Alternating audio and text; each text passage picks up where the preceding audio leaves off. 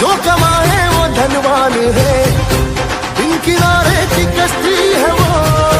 देवा तुझसे जो अनजान है। यू तो सवारी तेरी। सब है पहरेदारी तेरी। पाप की आंधिया राख हो।